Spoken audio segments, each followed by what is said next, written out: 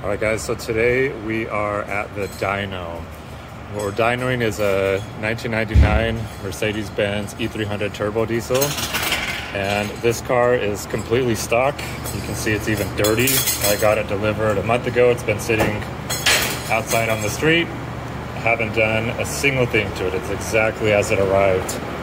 Um, nothing fancy. This is glued on. It's rusting out. It's from uh, Ohio, and you can see the miles that it has. Um, almost 360,000 miles. Okay, so it's a well-used engine, high mileage. Engine is completely stock. I haven't even done the. I usually bypass the fuel heater, the shut-off valve. Um, the pre-filter haven't done any of that routing it's completely stock. The user or sorry the the person before me did put on a, a, cone filter i'm not a fan of those. I don't recommend doing it that's just the way it came. And since we're stationary doing the dyno it's not really going to make a difference if we have cooler air coming from outside because we're stopped. We just have some big fans to blow some air on the front. Um, stock turbo, stock ECU. It has a cat, but it's gutted out, and then it's straight piped with two and a half inch straight pipe. Um, also, I'm not saying that that's what you should do. I'm just giving you the specs on how this car is, how I got it, and we're gonna give it a couple of dyno runs First, we're just gonna do stock everything, like I said, and then after that, we're gonna swap out the ECU for a stage 1.5.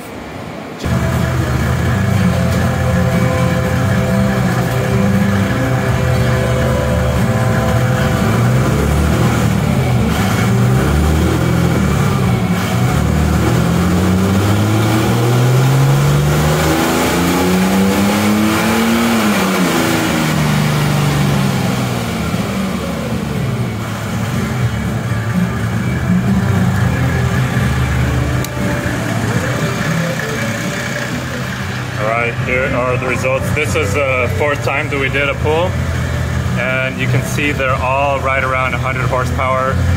Uh, this is with the stock ECU, stock everything. It's limiting RPM just above 4,500. So now, now we're gonna change out the ECU to stage 1.5 and we're gonna do another dyno a couple times and see what we get.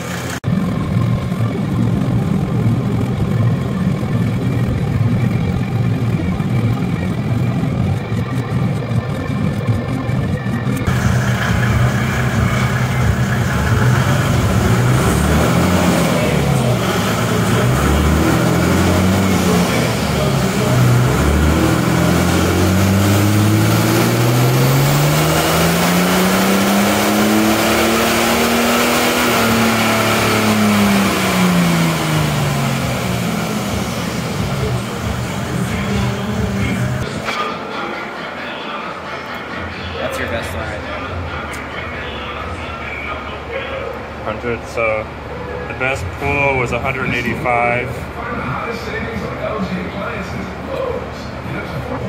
All right. Yeah, go ahead.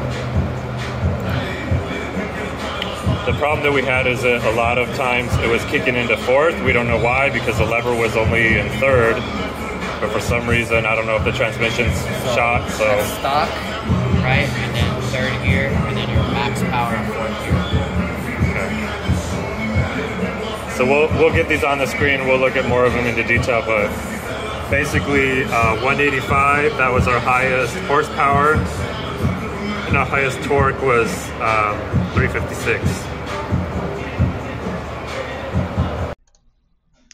All right, so here's kind of a review of everything we did looks like 10 runs um, a couple of them we had problems you can see like this one so there's just a lot of runs on here and sorry if it's kind of hard to see i don't know why it's such bad quality but anyways these ones over here that are longer for some reason i've never done a dyno before this is the first person that i've talked to in my city that would even dyno my car because all the rest of them would say oh i need a way to get RPM from your engine, or we only dyno, you know, Cummins and Power Strokes and big diesel trucks. You have a car, blah blah blah. So what he did, his name was Rich, and he said we're going to use third gear. And I set up the dyno by putting the car at a stable 2,000 RPM, and he worked his magic on the dyno, and he went up that. So he said what we're going to do is we're only going to go up to first. So you're going to go into first gear, rev it up, you know, around 2,000 to get into the second gear. So this is just the stock uh, 722.608 transmission, right? So I'm just using the the lever shift stir to do this. So put it into first, put it into second, put it into third, and then third is when I would um, basically floor it. And we kind of had to play with that as well. The first couple times I just floored it, and then after that, when we started having these issues over here, it was acting like it was kicking into fourth, which I don't know how it could do that because I had the lever specifically in third, but that's what he thought was happening is that something was off. But anyways, we'll have to figure that out. But I still feel like um, it was a success. We got some good information here. So um, the first four runs, which are these ones right here, these were all working. Like we got accurate readings, and you can see they're all around 100 horsepower stock. The next one is when I put in the uh, stage 1.5, and the guy when I did this whole dyno run, he was kind of like, uh, whatever, this is kind of a waste of time. This is a weak little car, whatever. When I put in the stage 1.5 and it burst out a big black smoke behind me, he was face kind of lit up and he was like, whoa, that really, yeah, that changed things. So right here we got up to 160. So you can see even there, um, even if we were just to say that this first run was the only accurate one, I'm not saying it is, but nonetheless, um, that one gave us 60 horsepower more. And you can see on the torque, quite a bit more. I mean, that's not double, but that's a lot more. Um, so we can just, you know, say we went from 100 to 160, 60% increase. I feel like that's pretty, pretty reasonable. Um, this next one is when it wanted to kick into fourth, so I just gave up on it. This one, I can't remember this one it was doing the same thing. And then finally the guy was just like just let it go in fourth and just rev it all the way. And so it was going past 5000 rpm i was fine with that. I know that these cars like to rev but he was kind of worried. He's like this is an old car. You're redlining it. I don't you know. So he all, all of these times he was always telling me like okay okay let go let go. So maybe it had more in it. I don't know um, he's not familiar with the OM606, so he doesn't know that they like to rev. He's used to traditional diesels, I'm sure. Um, so, like he said in the video, 185 is the maximum that we got. Um, I've talked to Sean Treacy about this, and he doesn't think that these first couple ones are accurate.